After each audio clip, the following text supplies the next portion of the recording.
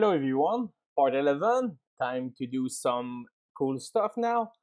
Uh, so what we're gonna do on this part is gonna be make the user can favorite a post and we're gonna to uh, add another function for increment the favorite count. So when I mean increment the favorite count, I mean inside the post model right now we have the favorite count here and this is still at zero. So this is what we're gonna change. So the first thing we need to do is gonna be pretty simple. So how we're gonna set up that, it's we need first thing to add a way to know where is the post, uh, which post is favored by the user. And we're gonna after that add the, another method where we're gonna add uh, a way to make the user favorite uh, a post. So here what we're gonna do, we're gonna jump inside the uh, user.model.js and here after password, so be sure you are inside the good curly bracket. So as you can see, I use rainbow bracket so that make me uh, know where I am. So here I'm gonna say favorite. So favorite gonna be an object. Why? Because maybe I'm gonna want to favorite something else. So favorite gonna have post. So here, as you can see, I can favorite maybe like I don't know, like uh, you want to favorite uh, like a to do. Uh, you see what I mean? Like you can have multiple uh, stuff you can favorite. So this is what I try to, to, to tell you. Here, that's to be an array of object. In here, we're to say type of schema, type object ID. And we're to put a ref of post. So here what we did, it's a way to make the populate working. So we have already used this way when inside the post model, we say the author it's a ref to the uh, user. And here as you can see that was just an object with the user. The thing i want you to see from right now is to know what is the post uh, what is the name here. So i suppose with uppercase. So here this is my ref. And here as you can see that's going to be an array of objects. So finally that's going to be an array of uh, object id and when we're going to populate we're going to have an array of posts so you see what i mean? So here we have the favorite now we need to make a way to add a post to the favorite. So inside the method, I'm gonna go there. I'm gonna create a new uh, method and I'm gonna put underscore favorites. I'm gonna show you in a moment why I put underscore here. So here I'm gonna have multiple favorite function because I'm gonna have maybe a multiple favorite stuff. So inside my favorite, I'm gonna say uh, post and I'm gonna pass a post ID as an argument. Here, we're gonna do an if statement. So finally, uh, Mongoose is really smart for do a lot of stuff, but something you cannot do, it's sending something and change the boolean. Like uh, I mean, uh, here we're gonna have an array of a post, and what we want to be sure if is the post is not there, we add it. If it's there, we remove it. So it's a way to make like a toggle, like a, if a favorite or on favorite. So here, all we can do this is by doing an if statement. And that's going to be pretty simple. We're going to say this, that favorite. So when I say this, that favorite, this is here. That post. So that was the post inside the favorite. And I'm going to use the method uh, index of who is working inside an array. So index of if, if it's an array uh, method. And because post it's an array, that's why I can use it. Index of to give me the uh, index of my post ID because remember we're gonna have an array of ID in here. So if I have it, so if this uh, post ID is inside my array, I'm gonna have an index uh, gonna be uh, equal or more than zero. So that's why here I'm gonna say that. So if the post is there finally, so the index it's maybe zero, one, two, three. Now what I'm gonna do there, it's I'm gonna say this that favorites that post. So again, I want to toggle my post here. And I'm gonna say dot remove. So this is a method inside uh, Mongoose, and I can do this. So I'm gonna remove this post ID inside my array. After that, I'm gonna make an else statement here, and I'm gonna say the the the, the like the, the opposite of that, and that's gonna be this that favorite that post, and I'm gonna say that push, and I'm gonna push the ID. Hmm, that was pretty simple, huh? No? Yeah, but we're gonna have a lot more stuff to do.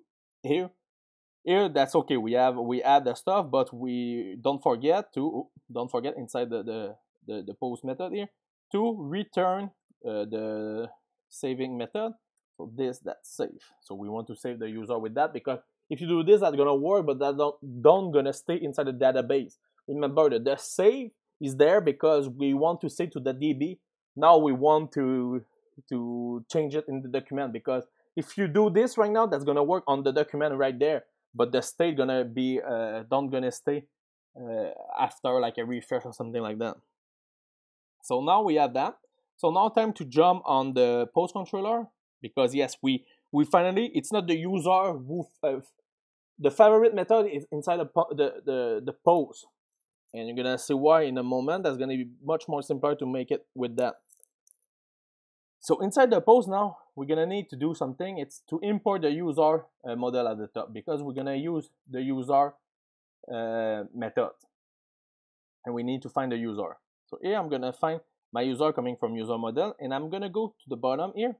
And now here I'm gonna create my favorite post. So here that's gonna be, uh, I'm gonna export an async uh, function again called favorite favorite post we're gonna take a req and a res, so request and response. We're gonna add again the famous try catch, and we're gonna return 964 here in 972. Perfect. First thing we need to do is find the user in the database. So the first thing we need to make here is const user gonna equal to a premises called user that's find by ID. And because we're gonna use the authentication with the JWT, we're gonna have access to his ID and we have access to this by doing what we do on the other stuff by doing req dot uh, user dot underscore id so here req dot user dot underscore id so now here i'm gonna have my user. So user here it's me. After that i'm gonna say await. Now my user have the method underscore favorites. So the method we just create here underscore favorite, but this method it's just an object, so I need to toggle my post. The post, don't forget this. And now I'm gonna pass the params that ID who is the post. So here, maybe you understand now why I put underscore. Because if I don't put the underscore, what happen? It's I toggle that. So you see, if I don't put an underscore, what I'm gonna see that favorite, it, that don't gonna be the method, that's gonna be what I have inside my schema. So that's why I put it there. So here, I'm gonna say user favorite that post direct that params that ID. I send the params ID right here. So this is there. And after that, I do my if statement. If it's there, I remove it. So I unfavorite. If not, I push it. So this part was there. And finally here, I'm gonna return. And here, the only thing you need is to return a res that send status and I'm gonna send an HTTP status that okay. So this is done. So that's it. Maybe some of you ask why you don't send like this is like or unlike or whatever you want. I mean that's gonna be pretty simple. I mean uh, like uh, I think about making the uh, the front end with that uh, uh, on other tutorial, and uh, what I'm gonna show you it's a way to just like the front end just need to manage the state how is right now and it makes some kind of like the front end is supposed to say, okay, now it's false. So now if I click, now it's true. If I get an, an error, I'm gonna remake it false. But if I get no error, I keep it true. So now here you get, okay, now I receive a 200, so now it's true. So I just keep it as true. So you see what I mean? Like the, the, the front end is supposed to keep the state in the in the front, so you're gonna know what happened. So go inside the post route and now what I'm gonna say, it's uh, I'm gonna say here that's gonna be all my favorite routes, and I'm gonna say route route. Sorry, that post. Uh, yeah, post because we uh, post. Yep. And now I'm gonna say uh, ID. So that's why we get underscore ID. But I need to make it with the favorite because that's gonna be much more simpler to keep my rest uh, thing make it easier for me after that to work because now I know here it's the favorite method. Here after that, I'm gonna put my alt JWT, so I get authentication, and I need to have my post controller, and I'm gonna use my favorite.post. Time to test it. I'm gonna jump on Postman, and I'm gonna have RoboMongo. So what you need to do first, it's inside Postman. Inside Postman, first thing, get all your posts. I get all my posts, perfect. After that, you need to log in too, so log. After that, take your JWT, and now go inside post favorite, create the, the post. So I take finally the first ID of my post, so this one. I go inside my headers and I'm gonna paste this JWT. And now I'm gonna send it. I get OK. So do like oh can I know if that worked? You go inside RoboMongo, you open user. Oh look at that. Now I have 10 field of this one and this one I have 9 field. That must be the first one, the first uh, user uh, who I make uh, the, the change. So that yes, so that what John do. Perfect. Now inside my favorite, I have one field. And inside my post, you see it's an array of element. And now if I open it, I have an array. And the first element at the first index is the object ID who finished by 184. And this is this one, 184. So now, right now, my user have favorite the post. So my user, we know he have favorite this post. We have only the object ID.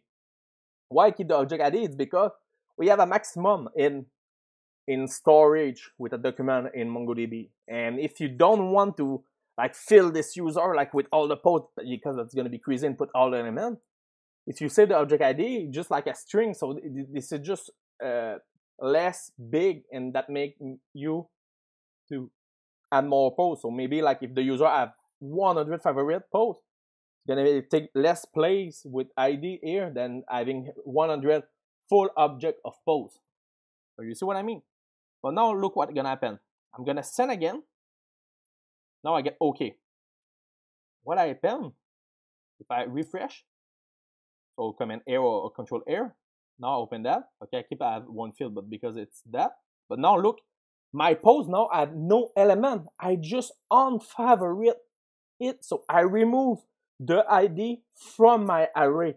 So now I have unfavorite my user. And here you're gonna see for you, that must be like two. So this is the version of your user, and because we change it because of this, you're gonna see like this thing gonna change a lot. Perfect. But now, I mean, I told you I need to change the favorite con. Like inside post model, I have favorite con here.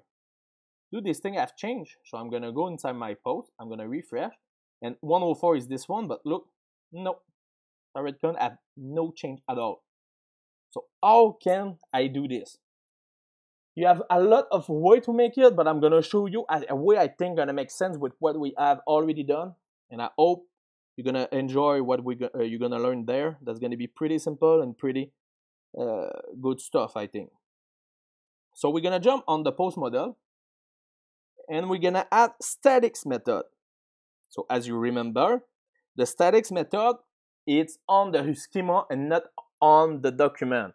So a method, it's when like you have initiate, like it's almost like when you work with class. When you have a static method, uh, a static method in class, you can toggle this method without initialize the class. But method you need. So that's why like you need to find the user and do stuff. So think about like uh, find by ID, it's almost like a static method. So here, I'm doing this because I don't want to find the post. The only thing I'm gonna do is I'm gonna say inc, so for increment, favorite, cont, and this thing, the only thing gonna need to have is the post ID again. This one, we're gonna return. Don't forget to return here. Don't forget to return there because if you don't return, that's gonna break with the await method we're gonna use after that. This that find by ID and update, woo, it's a static method on uh, the schema. So we're gonna find by ID and we're gonna update. So it's gonna be pretty simple. The first thing you need here, it's a so it's a Mongo method update command by document ID field. So the first thing you need to pass is the ID first thing. So we're gonna pass post ID. And after that, we need to say what we're gonna increment. And I'm gonna say inside MongoDB, you have a method called inc. And so inc change the old number by the number you want. you're gonna see right there. So here I'm gonna say favorite con, so the name of my method, favorite con here, by default it's zero, oh, zero, and I'm gonna say one.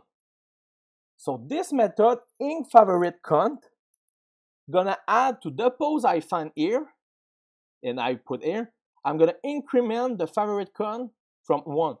So it's at one gonna be two, it's two gonna be three, so you follow me. Here, I'm gonna do select everything here.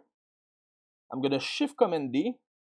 I'm gonna put a comma here, don't, don't forget. But now I'm gonna change the name here because now we want to decrement. Because when he favorite, I want to add one to the favorite con. But when he unfavorite, I need to remove it because I mean, if I favorite, uh, if I uh, favorite 100 time a post and I at the end I unfavorite it, so I don't keep it, I'm gonna have a favorite con of 100, and that's gonna make no sense. I mean, if no not 100 user like it. But now here, how can I did that? My way I'm gonna use here, you can use like deck and everything, but I'm gonna just change that. I'm gonna say minus one. So we're gonna just increment by minus one. so here now, we're gonna need to jump on the uh, user model and we're gonna change uh, little stuff of what we did today. So we're gonna go at the bottom and now here this is the place i think it's a good place to make it because here we remove it so why don't make the method for uh, like uh, deck favorite con and you see what i mean? So here what are we gonna do? So i'm gonna say import post from pose that post model so i'm gonna take my post object and here what i'm gonna say so here i have access to the post id so i'm gonna say post that deck I'm gonna just, just for be sure, I'm gonna go to post model, I'm gonna copy and paste this one, and I'm gonna say favorite con. And the only thing I need to do here is po it pass my post ID. But the thing is, this thing it's a it's a premises because if you've seen the post controller uh, post model, that was fine by ID and update. So this is a premises. So here what I'm gonna do is I'm gonna say async on my post here, and now I can use await and that's going to be the same for when now it's time to add the favorite con i'm going to say inc. like that. Nothing more to do. Now if you jump on postman. Now i have no favorite just for showing you. I'm going to go to my user. I'm going to refresh. 10 fill, but i have here zero element. Now i'm going to send. I get okay perfect. I'm going to jump on robomongo. I'm going to refresh my user. One element Perfect, so this is my post. Now if I go there, and now I refresh, and I check my post 104, favorite con 1. So we just finally uh, add 1 to the element who was 0 before. And now if I click again, I'm gonna jump on RoboMongo again. My user, I'm gonna refresh. Favorite 0. And now here, I'm gonna refresh, come in here again. The last one, and now 0. You see? And now maybe like some of you gonna ask, okay, yeah, but here maybe you can get to minus one, but here if I put put again, that's gonna increment by one. Yes, I mean this is maybe not the best production code, but this is working for now, and I think this is good for this tutorial, and at least that let you know what is a favorite method and uh, a method and a static. And here you see the the static. I don't need to find the the, the post because it's on the post uh, schema. So this is what I told you when I say statics. But when I told you about um, about a method, you need to have the uh, the user himself. So I'm gonna push the code on GitHub again, and I hope you enjoyed this part. So if you like, click the like button. Please subscribe if you didn't. And we're gonna jump on the part 12 where we're gonna have I get again more fun. So I hope you enjoy and have a good day. Bye.